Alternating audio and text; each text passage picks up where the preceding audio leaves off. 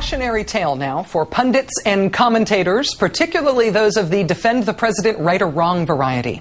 If the president says something that you plan on defending, it will not always be enough to simply repeat what the president said at a higher volume and with the emphasis on different syllables. If you're going to defend the president's political attacks, make sure you have a vague grasp of what they mean. If there's a reference to a historical event, for example, look it up. Try the Google or an old fangled history book, maybe. Our third story on the countdown a talking point relaunched by President Bush, ill understood by at least one of his defenders, and challenged simply on the facts. It happened when a guest on Hardball, Los Angeles radio host Kevin James, tried to parrot what President Bush said before the Israeli parliament. That possible negotiations with Iran were tantamount to Neville Chamberlain's appeasement of Adolf Hitler in the run up to World War II. The host, our colleague Chris Matthews, asked one simple question.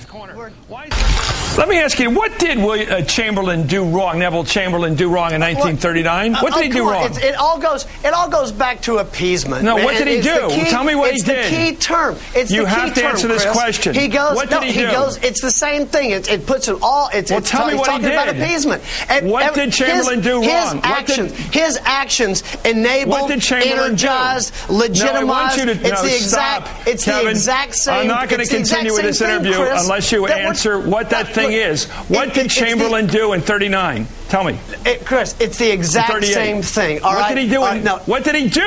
What 38, 39, Chris? What year What do you did he want? do? It doesn't. It's the I want you to exact ask- same thing what that happened, Chris. what did he's Chamberlain- Talking, he's talking. He's talking about appeasement. All right. What did Chamberlain Chris. do? Just tell me what he did, Kevin. What did Chamberlain He- do you didn't like? Look.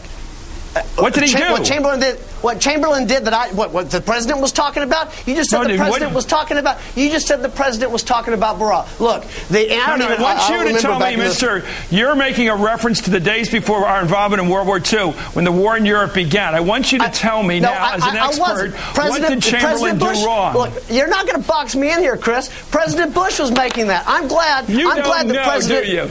Do you? You I'm glad know the president. what Neville of course, Chamberlain did with Neville to you. Chamberlain, yeah, he, he was an appeaser, Chris. He was he an do? appeaser, and it energized Kevin, and it legitimized. And, okay, you know, and I've been sitting here for five minutes asking you to say what the president was referring to in 1938 at Munich. I don't what know Neville Chamberlain, what the- you don't Chris, know. Thank you. Chris, we're talking with people with blank slates in terms of what history. here. President Bush and, and Hey, Kevin Chris, apparently are interested in. Minute, is- excuse me. Uh, what what do you they're mean a interested in.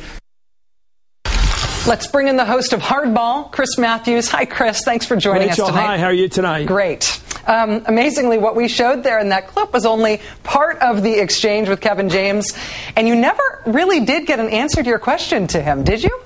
Well, two dozen times I asked him what he was talking about, and he couldn't tell me. I mean, these words like you know uh, appeasement and Munich and sellout and cut and run. You got to be real careful about the historic uh, references. You can't just say things. And the problem of the 30s was not talking to the enemy; it was giving away countries, giving away Czechoslovakia, ultimately having to fight after the Polish invasion. I mean, it was serious business, and you know information isn't bad, talking isn't bad. In fact, I wish everybody had read Mein Kampf a long time before that war. They would have been able to move faster. That is the thing that's important here is not just that you had a guest who didn't know the historical reference that he was parroting, that he had obviously either been told to say or thought he was supposed to say. There is a real substantive problem with appeasement being this buzzword that's being thrown around without anybody interrogating what appeasement really means. It's become this summary for talking to our enemies, right? That's what you were getting at and trying the, to get the to admit. whole me- mindset of the last several years, let's put it that way, since 2000 has been to shut up critics. If you don't like a war policy, you get branded with a name. You're unpatriotic. You're a cut and runner. You're an appeaser. You can't argue politics in America anymore. You can't question power because if you question it, you're going to be drummed out of uh, acceptable society. You're going to be called an appeaser. These magic words are used for one purpose to shut you up so that they can proceed with the policy. And I think that's a real problem. I think I just was at Washington U today, Rachel, and I made the point that uh, in a society like ours, uh, arguing over policy, arguing over what our role should be in the world, shouldn't be unpatriotic or seen as unpatriotic. In many, most cases, it should be seen as the essence of patriotism. Giving a damn about our policy, what it ought to be. Arguing, standing up and having a real debate. We didn't have that when we went to war in Iraq. You know, some of it's the media's fault. Some of it's just that people are intimidated out of challenging this president and his war policy. Well, and I think Chris, we're better off with a hot debate, I think. Do you think that this is something new? Do you think this is something specific to our current contemporaneous politics that we've got these sort of buzzwords and bumper sticker slogans, whether it's appeasement or fighting them Right. over there so we don't fight them over here, or they hate our freedom, any of these, these terms, are they designed to be repeated and not to be interrogated? Well, just look at the way people are basically exterminated uh, or try to be exterminated.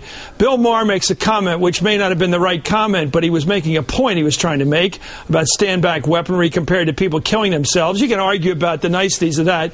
The Dixie Chicks say something about the war, and they shouldn't have said it overseas, but they said it. The shutting up of opposition is critical to running a country in an undemocratic way. Let's put it that way. And so you have buzzwords like appeasers or cut and run, and, and they're used over and over again by the most mindless people. And the trouble with them is they tend to work. The ditto heads can use them. Anybody can use them, and they seem to have the same effect. They cause people to run They not from only criticism. They not. I think it's not only used as a slur. It's also part of the way they advance the agenda. I mean, part of the way that politicians now talk about things that they want is through slogans that don't necessarily make sense. And maybe that's always been true in American politics. Well- but when it's about war, it feels almost feels almost criminal to me. I don't know. Well, the use of the word WMD, we never heard that phrase, but that became a huge phrase back in the early part of this decade, WMD, because it conflated the idea of, uh, of, of uh, the fact that they had chemical and biological weaponry with the idea they had nuclear weaponry. So you didn't have to say nuclear anymore, you just said WMD. Yeah. You could say terrorist as a term that conflated what happened to us on 9 11 with the countries we don't like, like, like uh, Saddam Hussein. Conflating terms all the time. That's another trick of this language. I'm not really happy with phrases like homeland security. Is there anywhere else we protect besides our homeland? What's wrong with just national defense? Oh, because homeland refers to just part of the area we're defending. I get it. Yeah. You know, some of this language is very foreign, and I think it's used for uh, for bad purposes. Double well, we know that. Double talk. We know that. Chris it's to shut Matthews. people up. Chris Matthews, host of Hardball. Thanks for taking time Thank to be you. with us. It's great to be on, Rachel. Thanks.